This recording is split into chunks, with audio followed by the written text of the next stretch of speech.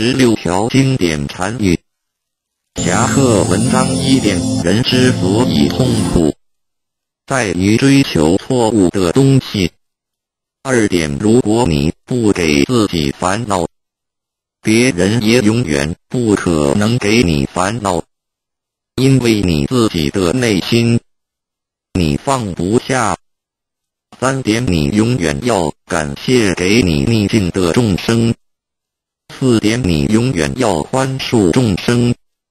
不论他有多坏，甚至他伤害过你，你一定要放下，才能得到真正的快乐。五点，当你快乐时，你要想，这快乐不是永恒的；当你痛苦时，你要想，这痛苦也不是永恒。六点，今日的执着。会造成明日的后悔。七点，你可以拥有爱，但不要执着，因为分离是必然的。八点，不要浪费你的生命在你一定会后悔的地方上。九点，你石磨时候放下，石磨时候就没有烦恼。十点，每一种创伤。都是一种成熟。十一点，狂妄的人有救，自卑的人没有救。认识自己，降服自己，改变自己，才能改变别人。十二点，你不要一直不满人家，你应该一直检讨自己才对。不满人家，是苦了你自己。十三点，一个人如果不能从内心去原谅别人，那他就永远不会心安理得。十四点，心中装满着自己的看法与想法的人，永远听不见别人的心声。十五点，毁灭人只要一句话，培植一个人却要千句话。请你多口下留情。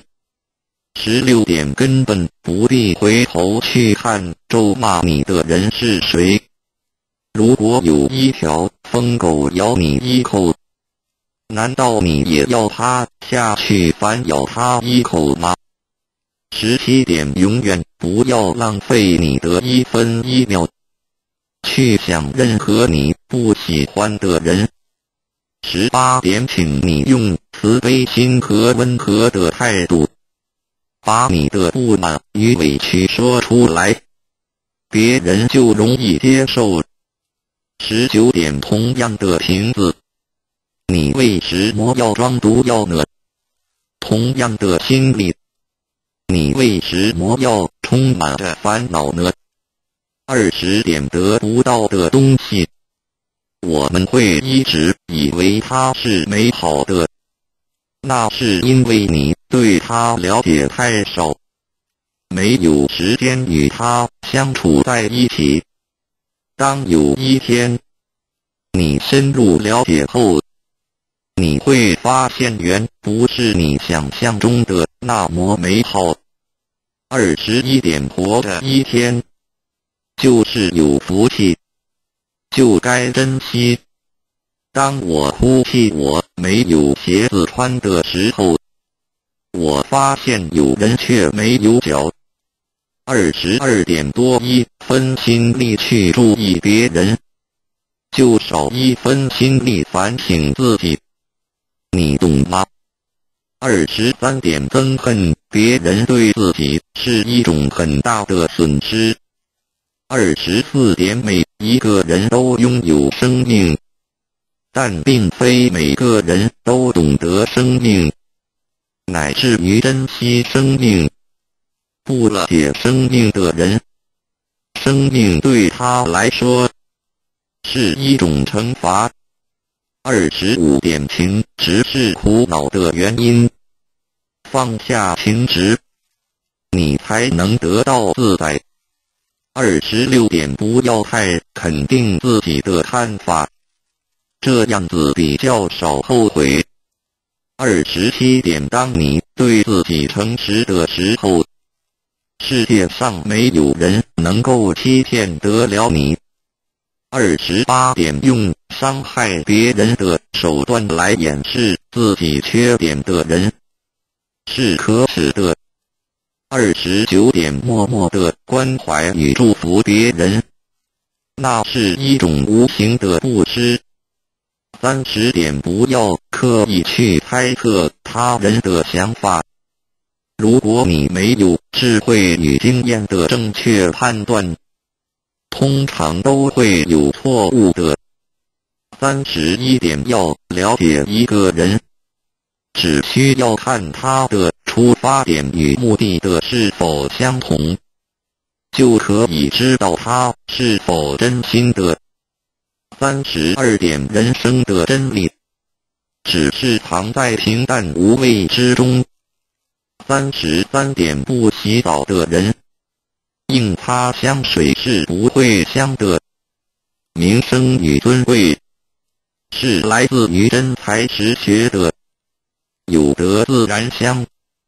原谅别人，就是给自己心中留下空间，以便回旋。三十四点，时间总会过去的，让时间流走你的烦恼吧。三十五点，你硬要把单纯的事情看得很严重，那样子你会很痛苦。